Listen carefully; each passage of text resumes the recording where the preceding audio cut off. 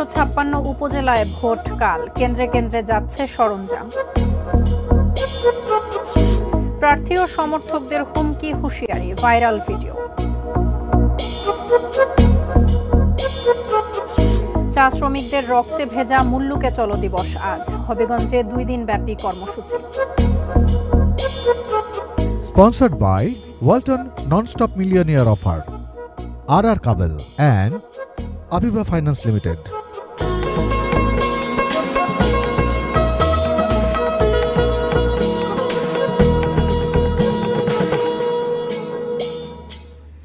ATN news দেখছেন। দেশের খবরের সাথে আছে আমি তাসফিয়া তামান্না। শিরোনামগুলো শুনছিলেন। শুরুতেই উপজেলা নির্বাচনের খবর। ষষ্ঠ উপজেলা পরিষদ নির্বাচনের দ্বিতীয় ধাপে কাল একশো ছাপ্পান্ন উপজেলায় ভোট। কেন্দ্রে কেন্দ্রে পাঠানো হচ্ছে নির্বাচনী সরঞ্জাম। নিজ নিজ উপজেলার সহকারী রিটার্নিং কর্মকর্তার কার্যালয় থেকে নির্বাচনী সরঞ্জাম বুঝে নেবেন প্রিসাইডিং কর্মকর্তারা। সেগুলোকে নিরাপত্তা দিয়ে আনসার এবং পুলিশ সদস্যরা কেন্দ্রে নিয়ে যাবেন। বিক্ষিপ্ত সংঘর্ষ এবং হুমকি ধামকির মধ্য দিয়ে দ্বিতীয় ধাপের উপজেলা পরিষদ নির্বাচনের প্রচার রোববার মধ্যরাতে শেষ হয়েছে।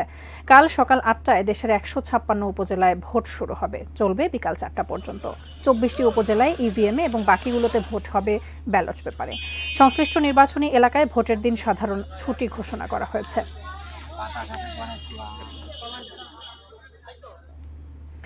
উপজেলা পরিষদের নির্বাচনের প্রচার প্রচারণায় উৎসব মুখরতার মাঝেও ছিল প্রার্থীদের অভিযোগ পাল্টা অভিযোগ হুমকি ধামকি কোনো কোনো প্রার্থী এবং সমর্থকের বক্তব্য হয়ে যায় ভাইরাল জন্ম দেয় আলোচনা সমালোচনার। দেখব ডেস্ক রিপোর্টে।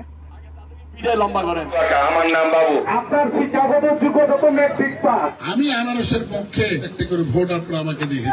আগে তাদেরকে ধরে পিটাইবেন। উপরের নির্দেশ আছে। বহু উপরের নির্দেশ। কুমিল্লা সদর দক্ষিণ উপজেলা পরিষদ নির্বাচনে চেয়ারম্যান প্রার্থী গোলাম সারোয়ারের এমন বক্তব্যে দেশজুড়ে তোলপাড়। এই সাবধান। আপনাদের গায়ে রক্ত মাংস নাই? তাহলে আপনারা এখন জায়গায় উঠতেছেন না কেন? যারা তাদের সহযোগিতা করে আগে তাদেরকে পিঠে লম্বা করেন। চোদ্দ মে রাতে কুমিল্লার বিজয়পুর বাজারে এক নির্বাচনী সভায় এমন বক্তব্য দেন তিনি। গোলাম সারোয়ার বর্তমান উপজেলা চেয়ারম্যান সাবেক অর্থমন্ত্রী আ হ ম মোস্তাফা কামালের ছোট ভাই তিনি। এবার নির্বাচন করছেন কাপ্রিজ প্রতীক নিয়ে। তার প্রতিপক্ষ আওয়ামী লীগেরই নেতা হেলিকপ্টার প্রতীকের প্রার্থী আব্দুল হাই বাবুল। প্রতিদ্বন্দ্বী প্রার্থী ও দলীয় এমপি আ ক ম বাহাউদ্দিন বাহারেরও সমালোচনা করেন তিনি। উনি আমাদের নেতা। উনি কেমন নেতা? যে নেতা আমাদের ভালো মন্দ দেখবে না আমাদের সুখ শান্তি দেখবে না। কেমন নেতা উনি? নারায়ণগঞ্জের সোনারগাঁও উপজেলা পরিষদ নির্বাচনে জেলা আওয়ামী লীগের সাবেক যুগ্ম সাধারণ সম্পাদক আবু জাফর চৌধুরী বীরুর বংশ উচ্ছেদ করার হুমকি দিয়ে সমালোচনার জন্ম দেন চেয়ারম্যান প্রার্থী বাবুল ওমর বাবু। উপজেলার জামপুর ইউনিয়নে একটি নির্বাচনে উঠান বৈঠকে তিনি বলেন, দুই মাস পরে যদি চৌধুরী বংশ উচ্ছেদ করতে না পারি, আমি রিজাইন দেব। আমার নাম বাবু। যদি চৌধুরী বংশের আত্মপ্রকাশের বংশ আমি উচ্ছেদ না করতে পারব, উচ্ছেদ আমি রিটার্ন দিব ক্ষমতা থেকে। বাবুল ওমর বাবু সোনারগাঁও উপজেলা আওয়ামী লীগের সদস্য ও উপজেলা পরিষদের সদ্য সাবেক ভাইস চেয়ারম্যান।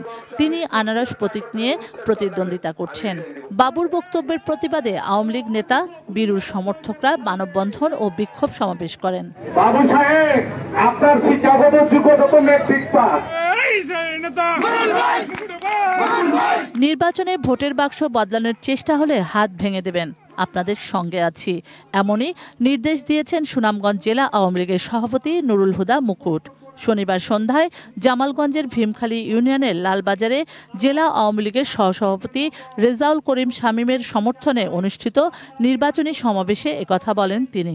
আপনারা যে হাত অন্যের অন্যের পক্ষে উঠবে সেই হাত ভেঙে দিবে ভেঙে ফেরার সময় আমি আপনাদেরকে সহযোগিতা করব।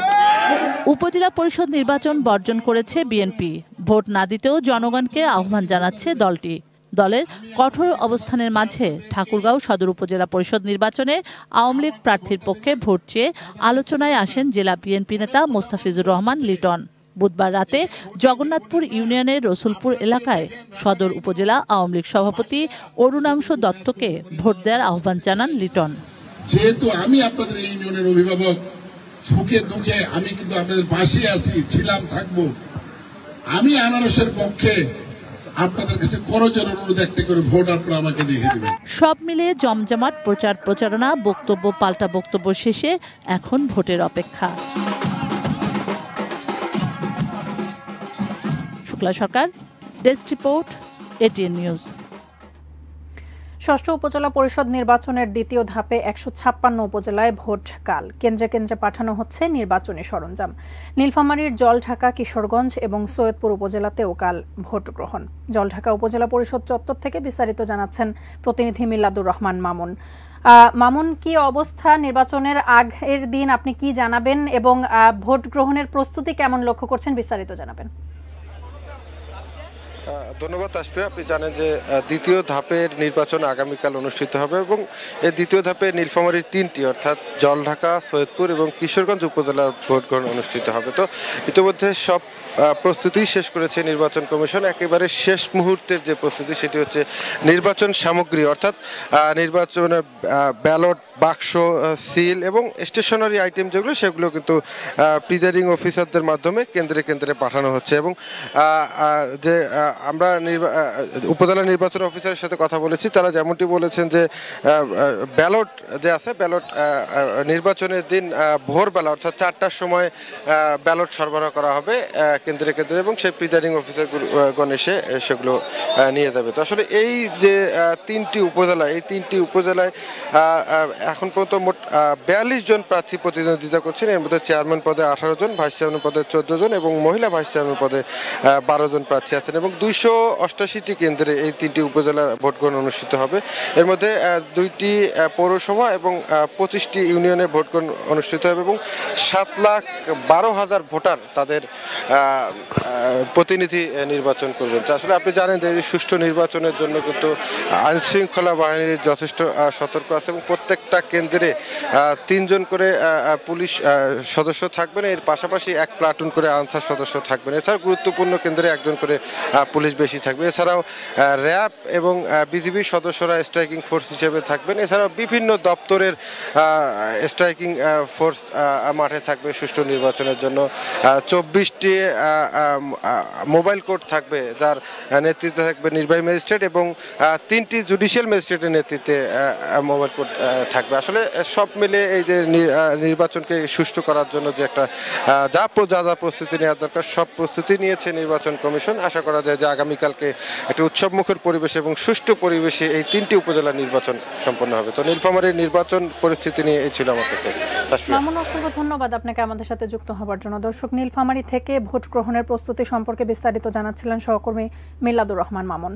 নির্বাচন প্রসঙ্গে আরও বিস্তারিত খবর জানাব সংবাদের পরবর্তী অংশে। এ পর্যায়ে নিচ্ছে একটা বিরতি, ফিরে এসে আরও যা থাকছে। সুনামগঞ্জে বজ্রপাতে দুই বালু শ্রমিকের মৃত্যু। বঙ্গোপসাগরে মাছ ধরার উপর পঁয়ষট্টি দিনের নিষেধাজ্ঞা শুরু।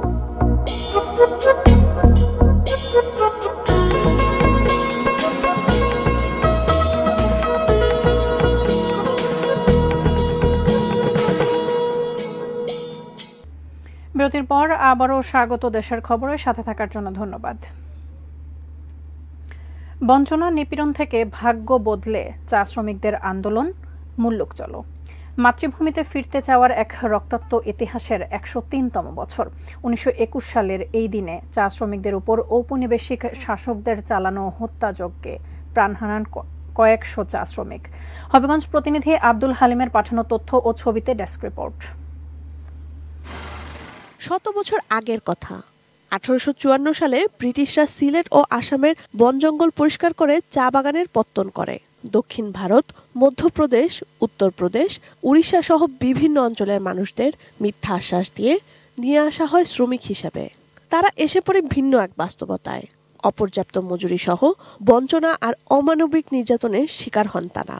ভাঙতে থাকে তাদের স্বপ্ন, বাড়তে থাকে অসন্তোষ। এক পর্যায়ে যে কোনো মূল্যে জন্মভূমি বা মূল্যকে ফিরতে আন্দোলনের ডাক দেন তিরিশ হাজার শ্রমিক।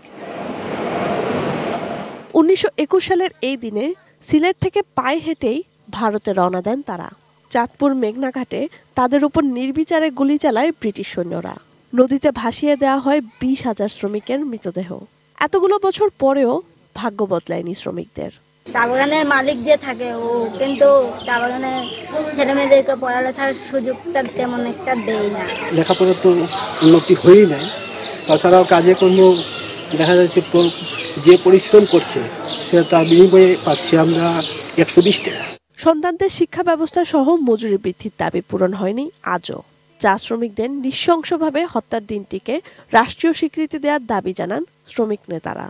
এই যে ভয়াবহ হত্যাকাণ্ড ইতিহাসের জঘন্যতম হত্যাকাণ্ড সেই হত্যাকাণ্ড স্মরণে আমরা প্রতিক্রিয়াটা দুই হাজার চার সাল থেকে দিবসটিকে চা শ্রমিক দিবস হিসাবে স্বীকৃতির দাবিতে আমরা প্রতি বছর সভা সমাবেশ নাটক গান।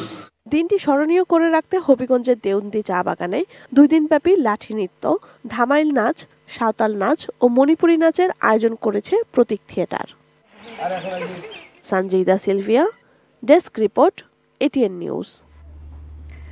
সুনামগঞ্জের দোয়ারা বাজারে চেলা নদী থেকে বালু উত্তোলনের সময় বজ্রপাতে দুই শ্রমিকের মৃত্যু হয়েছে। আহত হয়েছেন আরও তিনজন। পুলিশ এবং প্রত্যক্ষদর্শীরা জানান, সকালে নৌকা নিয়ে চেলা নদীতে বালু উত্তোলন করতে যান একদল শ্রমিক। এ সময় বৃষ্টিপাতের সঙ্গে বজ্রপাত শুরু হয়। বজ্রপাতে শ্রমিক কুদ্দুস মিয়া ঘটনাস্থলেই প্রাণ হারান। বাকিদের উদ্ধার করে হাসপাতালে নিলে চিকিৎসক দুলন মিয়াকেও মৃত ঘোষণা করেন। নিহত এবং আহতরা ছাতক উপজেলার বাসিন্দা।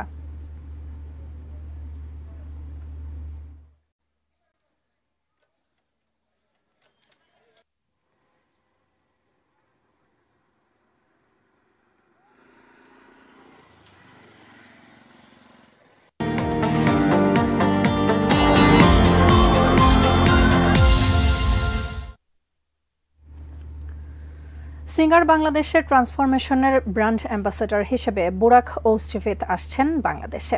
ভক্ত এবং ক্রেতাদের তুমুল আগ্রহের কথা বিবেচনা করে বুরাক ওসজিফিতের সাথে দেখা করার সুযোগ বৃদ্ধি করেছে সিঙ্গার বাংলাদেশ। দেশব্যাপী যে কোনো সিঙ্গার থেকে বেকো রিটেইল স্টোর অথবা সিঙ্গার বিডি ডট কম থেকে উনিশ থেকে ২৬ মে পর্যন্ত যে কোনো পণ্য কিনে ভাগ্যবান ক্রেতা দেখা করতে পারবেন তাদের প্রিয় অভিনেতা বুরাক ওসজিফিতের সঙ্গে। বুড়া কোথায় আসবে? আমি দেখা করতে চাই। হ্যাঁ খবর সত্যি। বুরাক আসছে বাংলাদেশে। উনিশ থেকে ছাব্বিশ মে চলে আসুন যে কোনো সিঙ্গার বেকো স্টোরে। আর যে কোনো পণ্য কিনে জিতে নিন বুরাক ওস সাথে দেখা করার লাইফ টাইম চান্স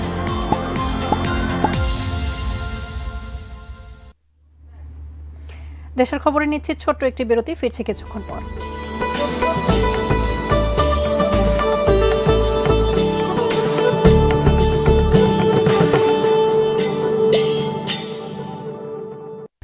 বিরতির পর আবারও স্বাগত দেশের খবরের সাথে থাকার জন্য ধন্যবাদ। আবারও উপজেলা নির্বাচন প্রসঙ্গ। কুমিল্লার দুই উপজেলায় নির্বাচনকাল কেন্দ্রে কেন্দ্রে যাচ্ছে নির্বাচনের সরঞ্জাম। সদর দক্ষিণ উপজেলা পরিষদ থেকে যুক্ত হব সহকর্মী আনোয়ার হুসাইনের সঙ্গে। আনোয়ার, কি অবস্থা? নির্বাচনের আগের দিন এলাকায় কি অবস্থা বিরাজ করছে জানাবেন। হুমকি, ধামকির খবরাখবর আমরা পেয়ে থাকি। শেষ মুহূর্তের প্রস্তুতি জানাবেন। তাসফিয়া আজকে আমরা দেখেছি যে সকাল থেকে যদিও এই নির্বাচনের যেই সরঞ্জাম, ভোট গ্রহণের যে সরঞ্জাম বিতরণের কথা ছিল, দুপুর দুইটা থেকে বলেছিল যে তার বিতরণ করবে। কিন্তু পরবর্তীতে বৃষ্টির কারণে কিন্তু কিছুটা বিঘ্ন ঘটেছে সময় নিয়েছে, এখন একটু দেরিতেই পৌঁছাচ্ছে সরঞ্জামগুলো ভোটের। বৃষ্টি থেকে বাঁচতে কিন্তু অনেকেই অনেক রকম পন্থা অবলম্বন করছেন। বৃষ্টিতে ভিজে কিন্তু তারা আসলে তাদের যে কেন্দ্রে যে সরঞ্জামগুলো নেওয়ার কথা সেগুলো নিচ্ছেন। একটি বিষয় আমরা জানিয়ে রাখি যে এই দুটি উপজেলায় আগামীকাল কুমিল্লায় যেই উপজেলা পরিষদের নির্বাচন অনুষ্ঠিত হবে, কুমিল্লা সদর দক্ষিণ উপজেলা এবং কুমিল্লা বড়ুয়া উপজেলা। দুইটা উপজেলায় কিন্তু বড়ুয়া উপজেলায় পনেরোটি ইউনিয়ন এবং কুমিল্লা সদর দক্ষিণ উপজেলায় আটটি ইউনিয়ন রয়েছে। এই সবগুলি কিন্তু প্রস্তুত রয়েছে আগামীকাল ভোট গ্রহণের জন্য। এবং একটি বিষয় জানিয়ে রাখি যে, এই দুই উপজেলায় কিন্তু তিনজন করে ছয়জন চেয়ারম্যান প্রার্থী রয়েছে এবং পাল্টাপাল্টি অভিযোগও কিন্তু রয়েছে যে, একজন চেয়ারম্যান প্রার্থীর বিরুদ্ধে কিন্তু আরেকজন চেয়ারম্যান প্রার্থী বলছেন যে হুমকি ধমকি দেওয়া হচ্ছে। কিন্তু জেলা প্রশাসন থেকে এবং পুলিশ বিভাগের পক্ষ থেকে একদম স্পষ্ট ভাষায় তারা বলেছেন যে কোনো রকম পক্ষপাতিত্ব করা হবে না, কোনো রকম বিশৃঙ্খলা সহ্য করে নেওয়া যাবে না এবং তারা বলেছেন যে এই আইন শৃঙ্খলা পরিস্থিতি যেন কোনো রকম বিঘ্ন না ঘটে, নষ্ট না হয়, সেজন্য দুটি উপজেলায় কিন্তু তিন প্লাটুন করে ছয় প্লাটুন বিজিবি মোতায়েন করা হয়েছে এবং পর্যাপ্ত সংখ্যক আইন শৃঙ্খলা রক্ষাকারী বাহিনীর সদস্যরা কিন্তু নিরাপত্তায় নিয়োজিত আছেন এবং জেলা প্রশাসনের যে ম্যাজিস্ট্রেটরা আছেন, তারা নির্বাহী ম্যাজিস্ট্রেটরা মোবাইল কোর্ট পরিচালনা করবেন, যেখানেই কোনো রকম রকম অপ্রীতিকর ঘটনার খবর পাওয়া যাবে, তারা সেখানে উপস্থিত হবেন না। এবং তারা প্রার্থীদেরকে এই বিষয়ে একদম স্পষ্ট ভাষায় বলেছেন যেন কোনো কেউ যে পরিস্থিতি রয়েছে, নির্বাচন পরিস্থিতি যেন নষ্ট করার চেষ্টা না করে। তো কুমিল্লার যে আগামীকাল নির্বাচন অনুষ্ঠিত হবে উপজেলা পরিষদের, এই ছিল আমার কাছে সার্বিক পরিস্থিতি নিয়ে সর্বশেষ তথ্য। তাসফিয়া। আনোয়ার, অসংখ্য ধন্যবাদ আপনাকে আমাদের সাথে যুক্ত হবার জন্য। দর্শক, নির্বাচন প্রস্তুতির খবর খবর আমরা জানছিলাম সহকর্মী আনোয়ার হোসেনের সঙ্গে যুক্ত হয়ে। হবিগঞ্জের বানিয়াচং উপজেলার মারকুলি বাজারে আগুনে পুড়ে গেছে চারটি দোকান। প্রত্যক্ষদর্শীরা জানায়, ভোরে মারকুলি বাজারে একটি ইলেকট্রনিক্সের দোকান থেকে আগুনের সূত্রপাত হয়। মুহূর্তে আগুন পাশের দোকানে ছড়িয়ে পড়ে। ফায়ার সার্ভিস পৌঁছানোর আগে স্থানীয়রা আগুন নিয়ন্ত্রণের চেষ্টা চালায়। পরে বানিয়াচং ফায়ার সার্ভিসের একটি ইউনিট পৌঁছে আগুন পুরোপুরি নিয়ন্ত্রণে নেয়। আগুনে পনেরো লাখ টাকার মালামাল পুড়ে গেছে বলে দাবি ক্ষতিগ্রস্ত ব্যবসায়ীদের।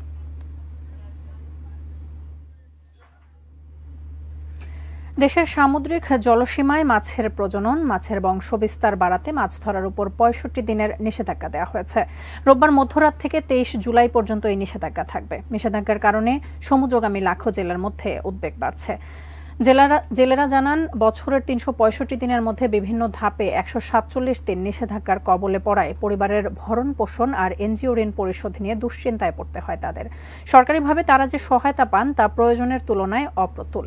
অন্যদিকে নিষেধাজ্ঞার এই সময়ে বিদেশি জেলেদের দেশের সমুদ্র সীমানায় মাছ শিকার বন্ধেরও দাবি জানান জেলে এবং ব্যবসায়ীরা। জেলেদের দাবি ঊর্ধ্বতন কর্তৃপক্ষকে অবহিত করা হবে বলে জানান জেলার মৎস্য কর্মকর্তা।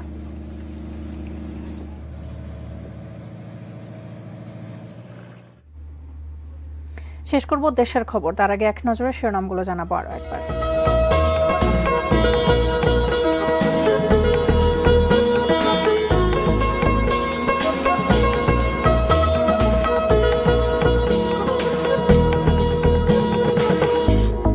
দ্বিতীয় দফায় একশো ছাপ্পান্ন উপজেলায় ভোট কাল। কেন্দ্রে কেন্দ্রে যাচ্ছে সরঞ্জাম। প্রার্থী ও সমর্থকদের হুমকি, হুঁশিয়ারি, ভাইরাল ভিডিও। চা শ্রমিকদের রক্তে ভেজা মূল্যকে চলো দিবস আজ। হবিগঞ্জে দুই দিন ব্যাপী কর্মসূচি। সুনামগঞ্জে বজ্রপাতে দুই বালু শ্রমিকের মৃত্যু।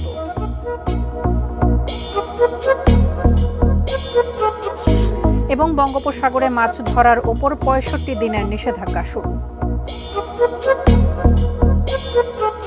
Sponsored by Walton Non-Stop offer আর আর Kabel and Abiba finance limited দেশের খবর আজ এ পর্যন্তই। এটিএন নিউজের সব খবর জানতে ভিজিট করুন W dot ATN news TV dot com এছাড়া চোখ রাখুন এটিএন নিউজের ইউটিউব এবং ফেসবুক পেজে আবারও দেখা হবে একই সময় সে পর্যন্ত সঙ্গেই থাকুন দেখতে থাকুন এটিএন নিউজ